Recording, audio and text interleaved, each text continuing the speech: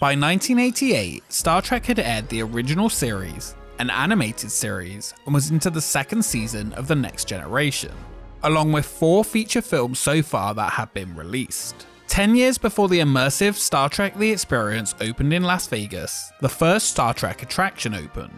This time, firstly at Universal Studios Hollywood, followed by Universal Studios Florida. The captain? The Vulcan? Come on, Leonard. It's the captain that makes things happen. It's his story. Bill, get serious. The audience watches the Vulcan. Stop! This bickering is pointless. It is most illogical.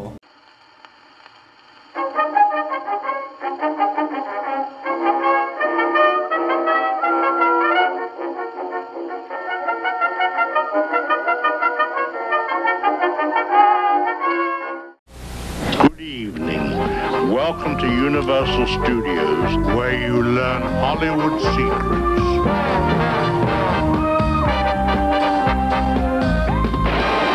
Over 40 years ago, Universal Studios Hollywood, then known as the Universal Studio Tour, debuted a new venue that would be home to the Screen Test Theatre. This new interactive experience gave guests the chance to act in a Universal Studios production. The first version, in 1975, was based on the TV show Emergency. Guests would recreate nine live scenes on stage in front of an audience of nearly 2,000 spectators, which would be intercut with actual footage. Monitors overhead would then show the footage as each performance was then shown as a mini episode of the show, similar to what Disaster would do many years later. What was also special was that each actor was chosen right before each performance began.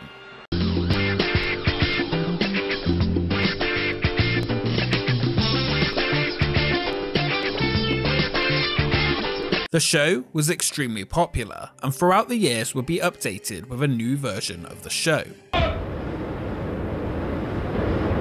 Turn on the gas. Let's put him to sleep.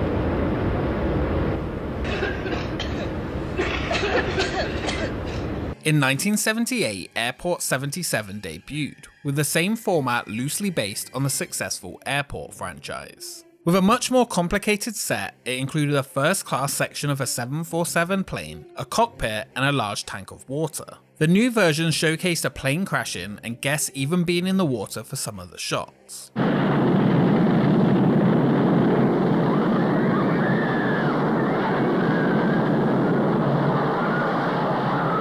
The final version of the show was another refresh that was based on the movies known as The Great Chase.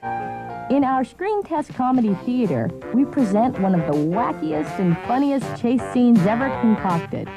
We cast about 35 people right out of the audience to play starring roles. Debuting in 1984, the show now had a mixture of seven different scenes ranging from an Old West bank robbery to a boat ride down a river. Once again, the show was extremely popular, and getting the chance to act in a Universal movie was one of the most memorable experiences of visiting the park.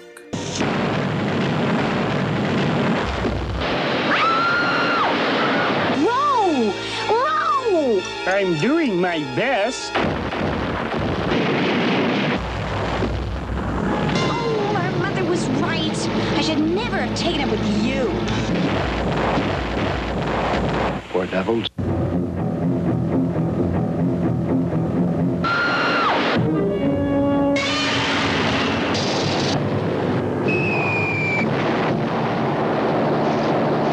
A direct hit. We're taking on a bit of water. This version closed in 1987, with the outdoor theatre undergoing a huge renovation, adding a roof and walls to make it a fully fledged indoor theatre. With it came a new show, taking guests for the first time into space and the world of Star Trek. The new experience cost $7 million to create and featured cutting edge technology. The Panasonic Theatre could house over 1,200 seating guests in the upper lot of the park. Based on one of the most popular series on television of the time, the live action show took guests into space to join Captain Kirk and Mr. Spock in battling Klingons, space creatures, and aliens. The new show was announced in early 1988. 22 years after Star Trek debuted, with a press kit that contained a four page United Federation of Planets directive presenting a format for broadcasters to give away admission tickets for the new attraction. Ladies and gentlemen, Welcome to a behind the scenes visit to the world of motion picture and television magic as we create a never before seen movie in front of your eyes. Through the talents of writers, technicians, designers, craftspersons, and members of this audience, you are about to go where you have never gone before. As Universal Studios and Paramount Pictures proudly present the Star Trek Adventure. The Star Trek Adventure opened on June 9th, 1988, with Gene Roddenberry, Star Trek creator, and some of the cast in attendance, including George Takei, James Doohan, and of course, William Shatner. Imagine there'll be people here in their own costumes uh, thinking that they're flying a spaceship. And uh, the, the illusion is here. Leonard Nimoy was the only cast member not in attendance, as he was directing a film in Canada at the time. Around 1,500 Trekkies were invited to the premiere performance, who were the first to respond to a mailing of 26,000 invitations sent to different Star Trek fan clubs. 29 audience members would seemingly appear in the feature, portraying a variety of different characters. The audience participants were given a script or a role to play that would be cut in with clips from Captain Kirk, Spock, Dr. McCoy, or Scotty, 10 selected guests will be given Starfleet uniforms and become the crew of the Enterprise. To get the role of the Klingon captain, you had to compete in a growl off with the runners up playing his crew members. A younger audience member would become a dragon hound based on the Klingon reptilian dog seen in the search for Spock. Other guests became the ground crew or various alien preceptors. The sets on stage were quite impressive, each built on a turntable rotating, with locations such as the bridge of the Klingon bird of prey, a transporter room, an alien planet, and of course the engineering and bridge of the USS Enterprise. This was one of the first times guests could stand on a completed set of the bridge, a dream for many Star Trek fans. Our story this evening involves an encounter between the Enterprise crew and their arch enemies, the Klingons, and later we're going to meet a third group that's even more powerful than either of them. Your big moment. The story of the mini episode had the Enterprise on course to Akumau 7, but once arriving, it is intercepted by a Klingon bird of prey whose captain decided on attacking the Enterprise. Mid battle, both vessels are rendered inoperative by a strange energy field originating from the planet. Hang on! Determined to find out more, an away team is beamed down, only to discover a Klingon away team as well. Fighting of course ensues until a strange creature attacks the Klingons. The Starfleet team would then save the Klingons, much to their dismay. Attacked by a strange creature. You've got to rescue them, even though they are Klingons.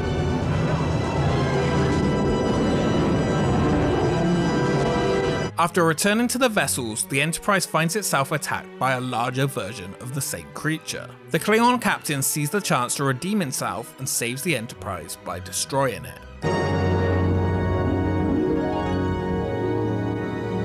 Getting a voice message. Klingons and Federation members, we are the preceptors, the teachers.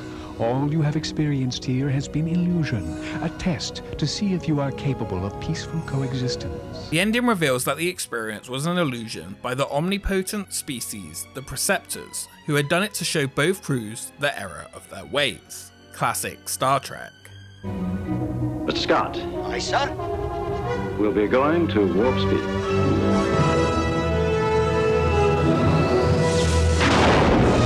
Each scene was recorded on video on the physical sets and intercut with the stock footage from the movies, edited into an 8 minute short film before being shown to the audience on monitors. The attraction was created by Universal along with the help of multiple other companies, one of which was McFadden Systems, who 10 years later would work on Star Trek The Experience.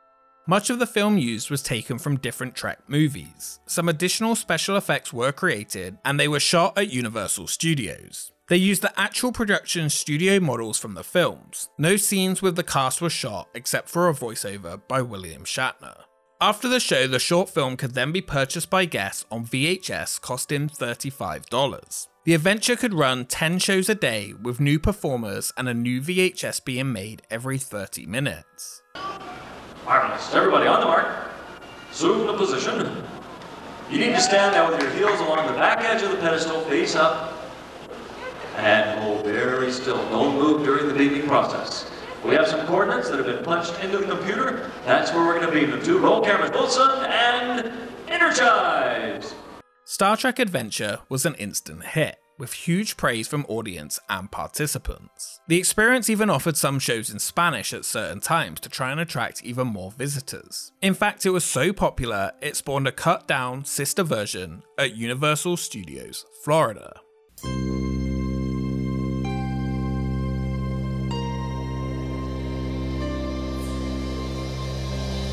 Hello, and welcome to Universal Studios Star Trek Adventure, courtesy of Paramount Pictures. I'm Gene Roddenberry, and some of you may know me as the creator of Star Trek. In its second year of operation, the park down in Florida added several new experiences to its lineup the Street Busters show, the Blues Brothers show, and the Back to the Future ride. One unique addition was called the Screen Test Home Video Adventure, and once again, you could star in a special episode of Star Trek. Though this time there were no sets in sight, and it was not included in park admission. It was essentially the first upcharge attraction. To participate, you had to buy the VHS at a cost of $29.95. The experience was located right next to Kongfrontation. Opening on March 25th, 1991, the experience named Screen Test Home Video Adventure, sponsored by JVC, offered guests the chance to star in their own movie. Using blue screen chroma key, the park inserted guest footage into newly filmed scenes with Star Trek actors for the Star Trek adventure, creating a 10 minute VHS. Unlike Hollywood, due to the use of the blue screen, the Star Trek actors had to shoot new footage for the guests to be inserted into. Leonard Nimoy and William Shatner were filmed for the introductory sequence, whereas the secondary cast filmed additional scenes on the recreated Enterprise set at Universal Hollywood. Since the method for the attraction was different, it also meant less people could be involved, with only 5 per film at one time, and no live audience to watch. Just you and 4 other people in front of a blue screen and maybe a captain's chair. No further effects were needed, and stock footage from the movies was once again used to fill in the remaining scenes. The experience also featured a different, less ambitious story. The episode you're about to see is a first. It's the first time guest stars have ever played the roles of the captain of the Enterprise and the Vulcan science officer. We'll now give you a peek at the rehearsal session that went on between our guest stars and their two directors, William Shatner and Leonard Nimoy. He then shows a peek at the rehearsal session of the episode, with Shatner and Nimoy's new scenes next to the inserted guests. Indeed, I think it's time to boldly go where, where no man has gone before.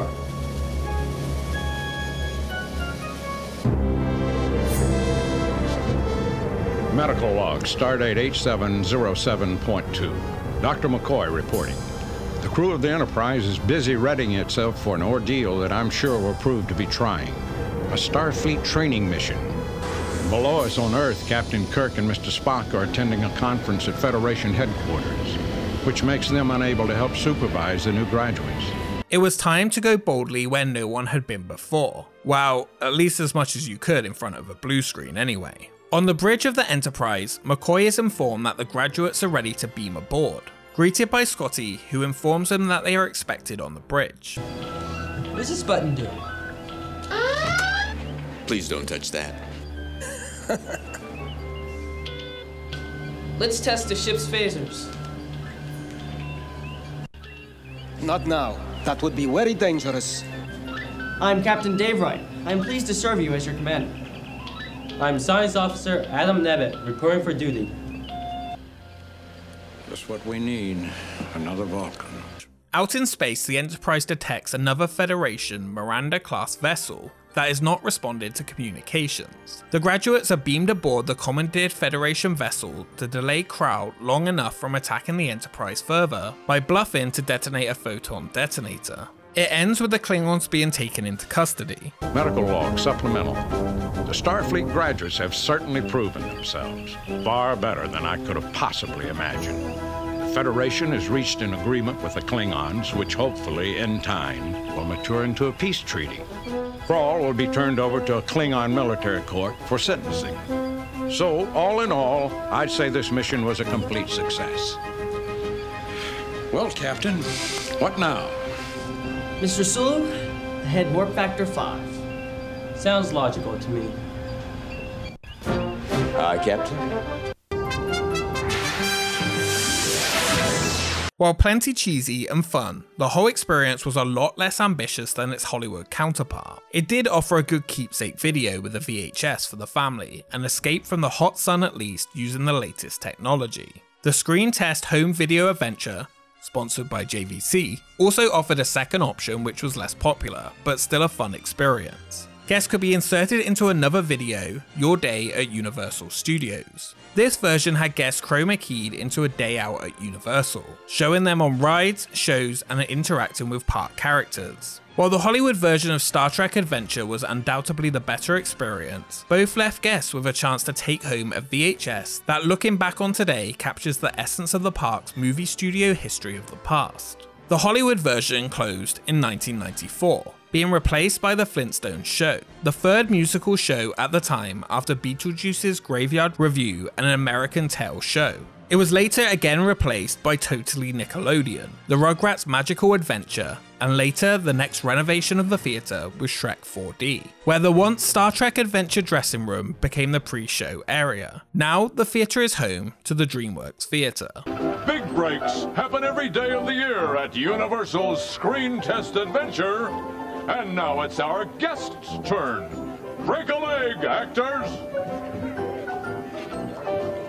As for the Universal Studios Florida version, it's now the home of the Mummy Lockers and the extended line. Closing two years after the Hollywood version, in 1996, a year later, the space would find a new purpose the Islands of Adventure Preview Center. Inside, guests could preview attractions and scale models for the brand new theme park, opening next door in 1999. Each island for the new park was displayed, including one fully original concept not based on an IP. The place we'll be heading to on the next expedition. An attraction that not only was shown in this preview center, also shares a similar effect to Star Trek The Experience in Vegas. This is a mysterious land, filled with romance and adventure. Within these ancient walls, this fateful story is forever preserved. Poseidon's Fury, escape from the lost city. Thank you so much for watching this episode of Expedition Universal Studios Florida. If you enjoyed it, make sure you like and subscribe to join the expedition as we continue to the park next door. Today, Star Trek attractions are hard to come by, with the only notable option being Star Trek Operation Enterprise at Movie Park in Germany. Would you like to see Star Trek return to a theme park in the future? Let me know in the comments below. Follow us on Twitter and Instagram for updates on upcoming episodes, and a special thank you to our Patreons for supporting the channel. We will see you next time.